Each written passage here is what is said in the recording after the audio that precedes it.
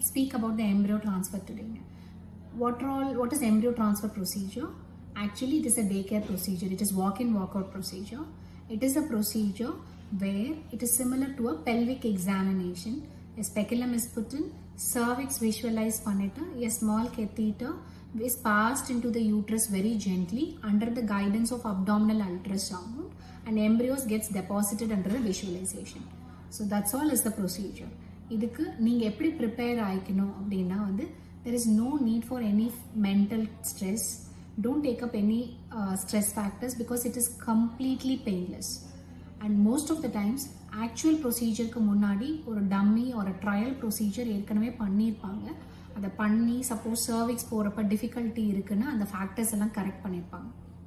Third thing anaesthesia கொடுக்க வேண்டிய necessity டெஃபினட்டாக கிடையவே கிடையாது because the procedure Hartley tax five minutes and second it does naught cos any kind of pain at all so there is no requirement of anaesthesia unless until a patient is very anxious, very uh, like uh, not mentally prepared in spite of repetitive attempts at clarification of the procedure, na, at times we can use anesthesias.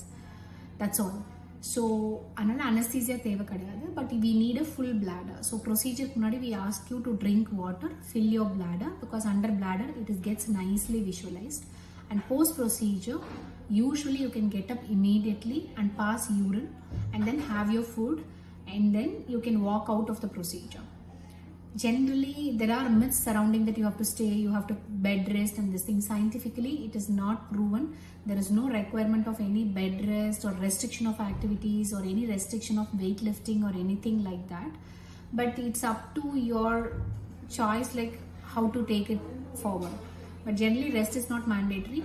People who wants to continue work can continue work. People who are working from home, happily they can continue working from home. And generally after the embryo transfer, if it is a day 3 transfer, 14 days later we check for the blood test to confirm the pregnancy and if it is a 5th day transfer, we confirm it on your 12th day, uh, whether it is pregnant or not. And the rest of the information is put up in the detailed descriptions of the embryo transfer. If any queries, please do ask us. Thank you.